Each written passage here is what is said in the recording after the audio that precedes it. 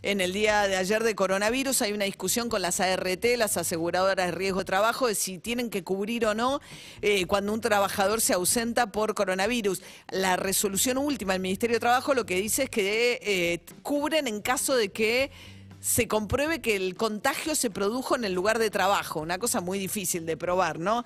Marcelo Fernández es presidente de la Confederación General Empresaria de la República Argentina. ¿Cómo le va, Fernández? Buen día. Hola María, buen día, un saludo a todos los oyentes, ¿cómo están? Bien, muy bien. Eh, bueno, ¿qué está pasando con el ausentismo y la cobertura al ausentismo? Bueno, realmente lo, planteamos y agradezco el espacio y, lo que tomó de, en los medios este tema, porque realmente nos preocupa y nos ocupa.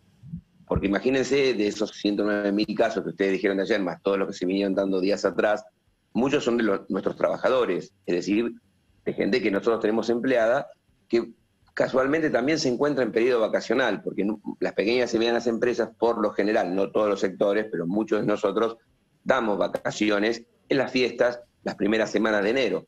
Entonces la gente se encuentra de vacaciones. ¿Y qué ocurre? Si se llegara a infectar o tuvo un contacto estrecho, suspende las vacaciones, porque así lo dice la ley, y este, el periodo que es convaleciente o que tiene que estar aislado, lo considera como una enfermedad en vacaciones, con lo cual se suspende eso pasa a ser como si fuera un salario, eh, digamos, de un trabajo cuando está haciéndolo en, la jornada normal, y se suspenden las vacaciones que pagamos anticipadamente, y luego, cuando se tuviera que reincorporar, puede tener más días de vacaciones o en su defecto, si viene a trabajar, hay que pagarle el doble, es decir, hay que pagarle las vacaciones que, suspendió más el jornal. Entonces, ¿qué decimos, María? Si esto fuera con un trabajador o dos de una empresa que tiene 100, la verdad que nosotros estaríamos llorando, este, estaríamos, como dicen, que somos llorones, es verdad, estaríamos eh, tratando un tema que nos ocurre cotidianamente. ¿Sabés qué pasa? Nosotros estamos pensando que nos va a pasar con el 30-40% de nuestros trabajadores.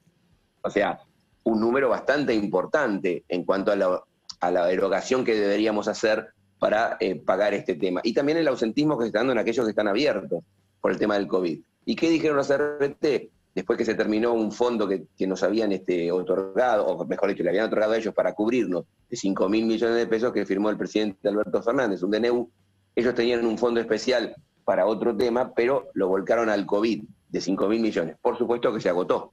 Este fondo ya se agotó porque es público y notorio la cantidad de infectados que tuvo la República Argentina.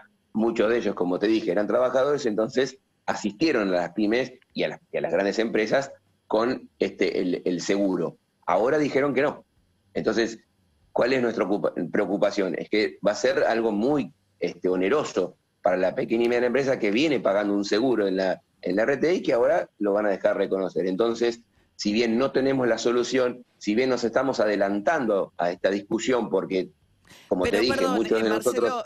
Son cinco días, ¿no? O sea, cuando un trabajador, por ejemplo, está de vacaciones, eh, da positivo COVID, me imagino que no todos reportan interrupción de vacaciones porque se enferman, pero pongamos que algunos sí lo hacen, ¿no? Eh, dicen, bueno, interrumpo mis vacaciones pues estoy contagiado coronavirus, estos días no cuentan a los efectos de, mis vacaciones. De vacaciones. Son cinco días, ¿o no? ¿O son siete o son diez?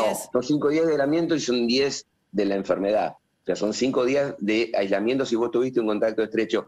Cosa, María, que es incomprobable, y esto lo sabemos. O sea, tampoco le vamos a echar la culpa a todos los trabajadores porque es muy fácil. La picardía existe de los dos lados. Pero en este caso, a nosotros nos preocupa porque ¿quién puede comprobar un contacto, contacto estrecho este, si fue verdad o no fue verdad? O sea, es imposible decir, bueno, yo tuve un hermano, un primo, un novio, una amiga, un vecino este, que, tenía este, coronavirus y yo tuve contacto estrecho. Con lo cual, por precaución, tuve cinco días aislado. Esos cinco días se consideran este, como que hemos suspendido las vacaciones. Y este es nuestro problema, vuelvo a decir. Pero para eso tengo que informar explícitamente, o sea, tengo que a la empresa. A la empresa, recursos humanos de la empresa y decir, eh, entro en, claro. suspendo vacaciones por contacto estrecho o suspendo vacaciones por, eh, por coronavirus positivo. Eso nos vamos a enterar cuando reabramos muchos de nosotros nuestras puertas el, el lunes 10 de enero, que sería el próximo lunes, o el lunes 17 o el lunes 24, de acuerdo así tuviste 14, 21 o 28 días. Pero no se supone que la RT cubre si el contagio es en el lugar de trabajo, o sea, si yo me contagio en mis vacaciones, ¿eso también está cubierto? No, por eso es lo que estamos planteando, porque si el, trabajador lo va a plantear como una enfermedad, como digamos lo que se dice un accidente laboral o una enfermedad, este, que, le ocurre y por eso no puede asistir a, trabajar, nosotros la RT no nos va a cubrir. Y eso es lo que estamos planteando. Pero vuelvo a reiterarte, esto no, creemos y nos estamos anticipando, tal vez al hecho, que no creemos que nos pase con uno de nuestros trabajadores, aquellos que tengamos 40, 30, 50, 100. Creemos que nos va a pasar con más del 30, 40%, porque estamos viendo la cantidad de casos, sabemos que seguramente le tocó a nuestra gente. Y por otra parte, la otra preocupación, María, es que sean las grandes empresas, cuando tengan un número altísimo, para ellos es muchísimo mayor la erogación, este tema lo trasladen a precios. Es decir, cuando nos vendan las materias primas, nos vendan mercadería, van a decir, bueno, realmente tuvimos un costo muy alto laboral por este tema, bueno, aumentemos el precio para que podamos recuperar esto que nosotros nos pasó. ¿Y esto a quién se lo traslada? A la pequeña y mediana empresa, que después, por supuesto, tiene que tratar de trasladárselo al consumidor para que nos compre. Y es otra preocupación también, porque creemos y sabemos cómo operan las empresas monopólicas, que se aseguran, como tienen el mercado cautivo, se aseguran la rentabilidad y nos ponen el precio que quieren. Entonces, si bien, y te soy honesto, me estoy adelantando, a, por eso hicimos este comunicado, porque todavía no nos pasó, creemos que nos va a pasar. Entonces me parece que hay que poner ya una mesa a conversar entre las ART, entre los trabajadores, los empresarios y el Estado, al cual no le pedimos que se haga cargo, pues es muy fácil decir al Estado, después hablamos del déficit fiscal, che, dame algo porque me pasó esto. No, hay un seguro, María, que pagamos, hay una RT que nosotros tenemos todo el año, a veces sin siniestros, por supuesto, porque nadie quiere accidente de trabajo, y no puede ser que en este momento, con la gran rentabilidad, porque viene del sistema financiero, que han tenido, a nosotros nos dejen sin cobertura. Marcelo Fernández, presidente de la Confederación General Empresaria de la República Argentina. Muchas gracias, ¿eh? No, gracias. Gracias por el espacio para, decir esto. Gracias, María. Hasta luego. 8 y 26 de la mañana. La Cardeus es el colchón que está a la vanguardia del mejor descanso, porque nuestra calidad supera a la realidad y te invita a soñar. Somos los mejores en sueño, por eso presentamos el estado del tránsito, para que no se te convierta en una pesadilla. La Cardeus es tradición de calidad. Diego Fernández. María, muchas gracias. Hay al menos 5 kilómetros de congestionamiento en Panamericana Ramal Campana.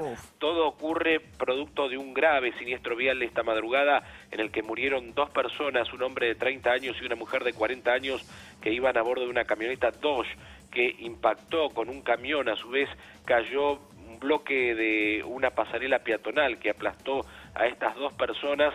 Está cerrada la Panamericana Ramal Campana, sentido a la capital federal con desvío en el kilómetro 73 hacia Colectora, que a esa altura tiene un solo carril por lado de circulación. Son muchísimos los camiones que eh, marchan sentido a la ciudad de Buenos Aires, por eso la demora es muy importante, repito, en Ramal Campana de Panamericana, desvío alternativa por ruta 6 y, y luego ruta 4 para evitar los eh, kilómetros de embotellamiento que se producen a raíz de este incidente que va a permanecer cortada la Panamericana durante varias horas, María, al caerse, desplomarse parte de esa pasarela peatonal, además del siniestro entre dos vehículos. Eh, servicios, trenes, el ferrocarril Belgrano Norte está operando reducido entre Retiro y Delviso por un automovilista que cruzó con las barreras bajas en un paso a nivel entre Delviso y Villarrosa, resultó con heridas el conductor, repito, línea Belgrano Norte con servicio limitado, el resto de los trenes y subtes sin inconvenientes. Muchas gracias Diego, buen día, hasta luego. Buen día, hasta luego.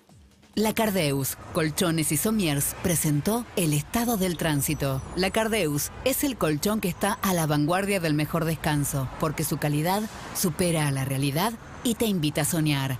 Verano La Cardeus. Verano de sale. Ahorra 25, 30, 40 y hasta 50%. 18 cuotas sin interés y el envío es gratis. Únicos. Con certificación ISO 9001.